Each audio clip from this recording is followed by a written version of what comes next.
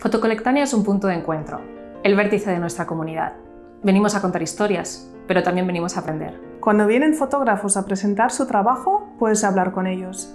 Los tienes muy cerca. También tenemos una librería y una biblioteca magníficas. Yo soy amiga de Fotocolectania por su programa de actividades y su amor a la fotografía.